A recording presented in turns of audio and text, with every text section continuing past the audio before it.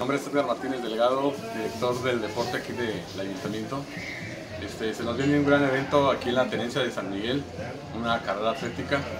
Eh, celebramos la fiesta de, de San Miguel y para, para este gran evento este, vamos a organizar una carrera de atletismo eh, donde va a haber 36.900 pesos en premio. Le damos gracias al ayuntamiento, al jefe de tenencia por, por llevar este gran evento y darnos este, todo el apoyo total. Las inscripciones están abiertas, serán de 100 pesos, tanto locales y foráneos. Eh, serían 200 playeras a los primeros 200 participantes y serían 250 medallas a todas, en todas las categorías a los primeros lugares que, que crucen la meta. ¿Cuántas categorías son?